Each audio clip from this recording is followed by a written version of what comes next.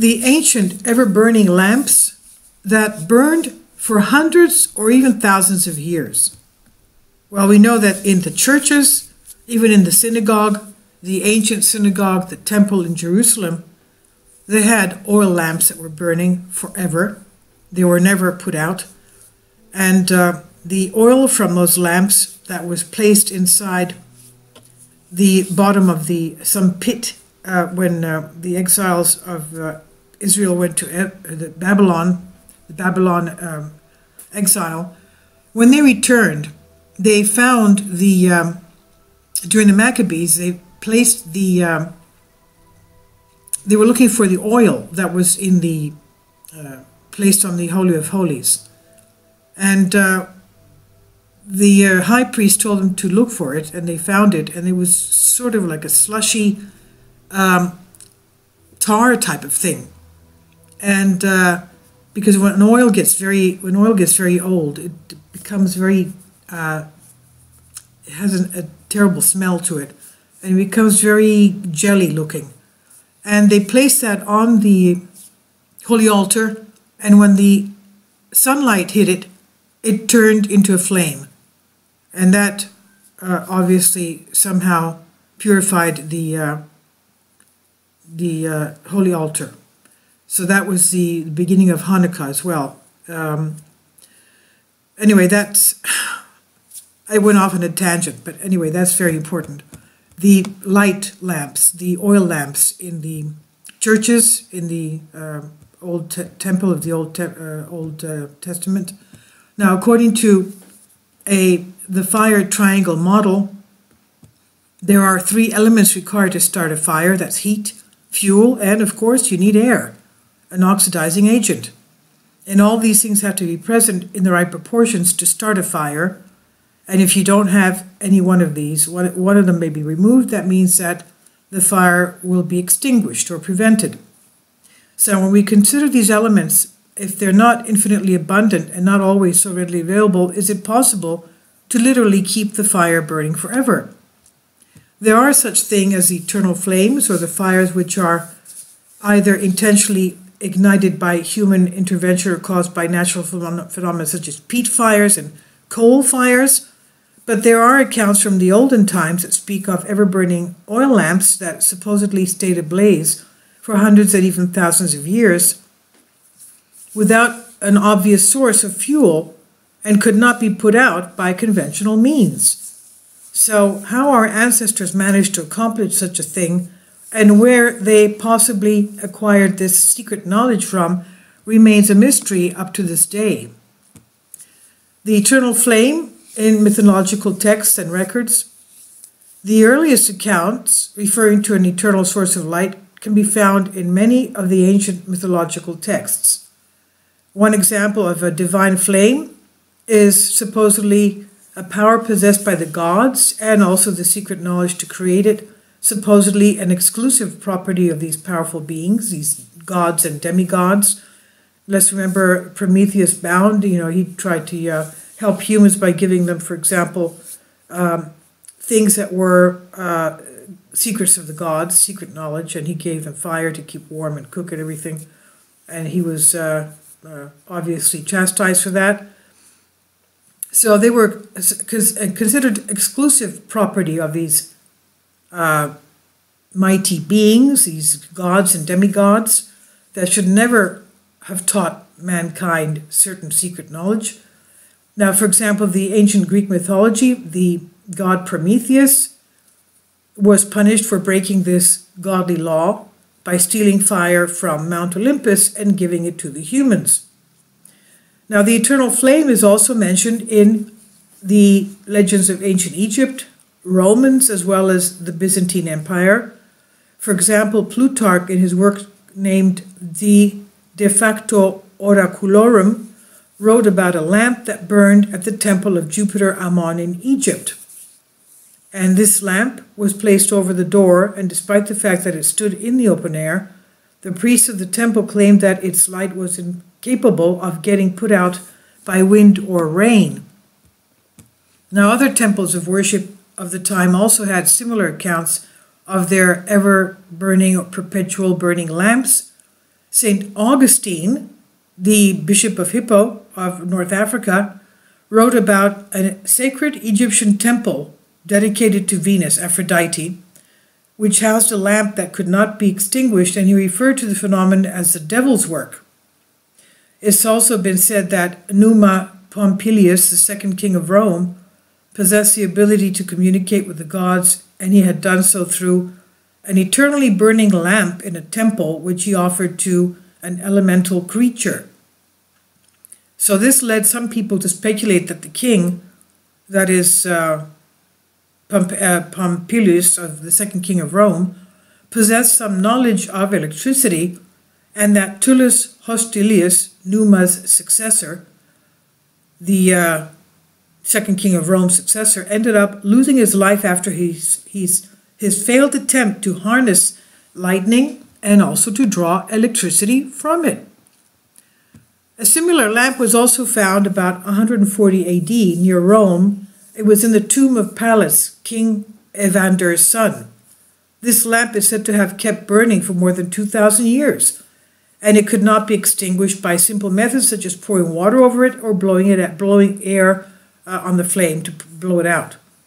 The only means to put out this fire is by draining the unknown and unusual liquid stocked inside the lamp's bowl. So it was an unknown, um, mysterious liquid that was uh, feeding the lamp.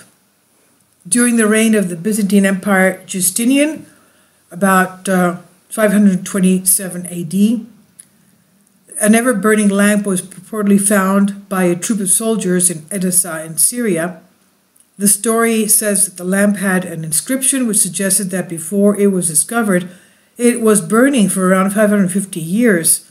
That was beginning around 27 AD. So obviously, this was uh, ancient secret knowledge of, of, of advanced technology that was around from the time of our Lord Jesus Christ. Now, in 1540, a tomb which was thought to have been the resting place of Cicero's daughter Tulliola, she died in 44 BC.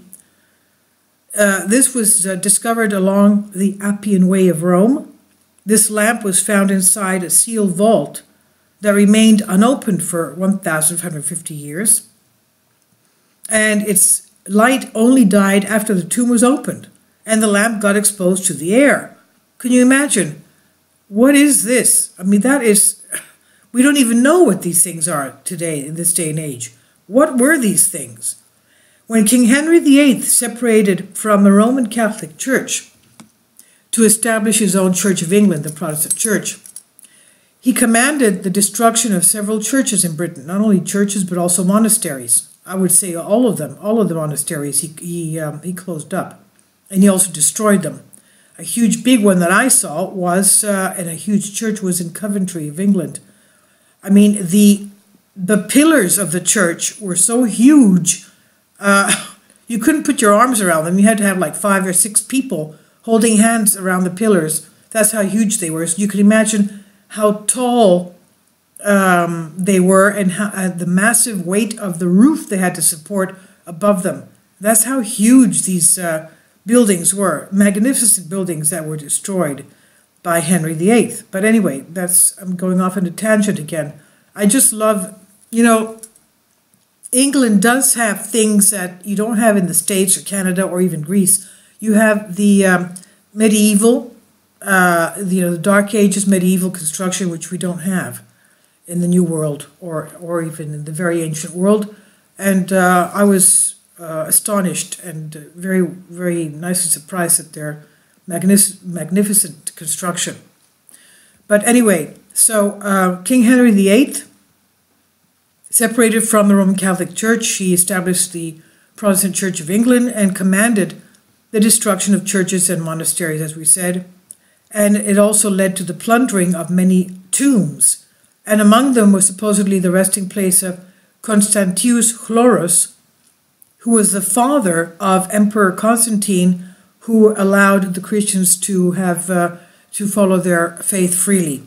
He was called the Constantine Emperor Constantine of Rome was the one who established the Christian, uh, the free Christian faith of Byzantium which is today Constantinople, his city, uh, which is Istanbul. Um, so uh, he passed away around the fourth century. When they opened his tomb, they found a burning lamp, which they believe remained lit for over 1,200 years. So there we go again. Another interesting story about ever burning lamps is told by occult writer Eliphas Levi in his book titled Histoire de la Magie. He wrote about a man named Jechiel, an enigmatic French rabbi, and this rabbi served as an advisor to Louis IX's court in the 13th century. Uh, Jechiel is said to have owned a lamp that he placed in front of his house, which possessed neither oil nor wick. And when people inquired about the source that fueled the lamp's light, he insisted on keeping it a secret. Many tried to replicate what he achieved but failed to do so. So obviously, this rabbi Jechiel knew of this ancient uh, type of uh, advanced technology, the secret of this ever burning lamp, which he had in front of his house. Um, when people inquired the source of the fuel, he insisted on keeping it a secret. And many tried to replicate it but failed to do that.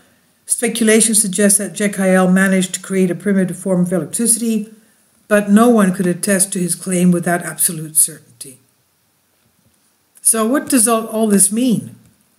The idea of a, of a perpetual, inextinguishable light, a flame, uh, something giving us uh, light, without a fuel source remains controversial and it's a polarizing topic even up to today. We don't know how that's done.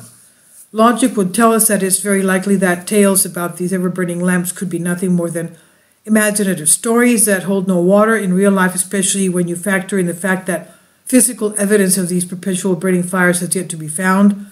Okay, but it's very strange to me that you have all these recordings of them, and obviously in various stages, you know, antiquity, and then around uh, 2,000 years ago, and then in, during the Middle Ages and even by this uh, Jewish rabbi. I mean, that's even by Constantine, um, uh, Constantine's um, father's uh, tomb. So this is not obviously something that's uh, faked or um, a myth or just a story. There must be something to this. Just like the Greeks had the um, uh, the fire that never goes out, um, the mystery of the pier, the, the fire that they used the um, to uh, to uh, in their naval battles uh, that could not be extinguished, and the more water you poured on it, the more flame came out. Um, that was a real thing, and we still don't know what that was. So um, even if there is irrefutable proof, it has yet to be made known to the rest of the world. But when we look at it from a different perspective, maybe our ancestors did possess this ancient knowledge on how to light up a perpetual flame, and only this information somehow got lost with passage of time, and the secrets were taken with uh, the people who knew about them. They took them to their graves. They never told anybody. And if these ever burning lamps are not just mere legend, then maybe their existence could only be explained by factors beyond what mainstream science currently knows of and they can't fathom such extraterrestrial beings or supernatural or supernatural phenomena. So as of now, we can't validate or totally discredit the existence of these eternally lit fires. But what we can be certain of at this point is that people's fascination over these so-called ever-burning light lamps, perpetual lamps, will probably endure for years to come, and maybe even forever. And uh, in my uh, by closing, let's remember that a lot of the tombs in ancient Egypt were um, uh, painted inside internally with beautiful artwork and hieroglyphs, hieroglyphics and uh, murals. And it would have taken months, if not years, to do all this in there. But there, yet there is so dark in there. There is no soot from any oil lamps or candles that they would have been using to paint all these beautiful things. Uh, they were totally clean from ash and soot. So that means that they did have some kind of uh, a light source that was clean and not giving out ash and soot. and some believe that uh, they may have had electricity. The ancient Egyptians may have had electricity. Uh, they, the Dendera light bulb of ancient Dendera, ancient Egypt, could have been a reality, some kind of electricity, electrical source lighting up la- lamps and um, uh, electrical lamps that they used inside these areas to um, finish their artwork on the interior of these tombs. Very interesting. So let's have some comments. What do you think it could have been? If you know, please let us know. Thank you. This is on Beyond Science.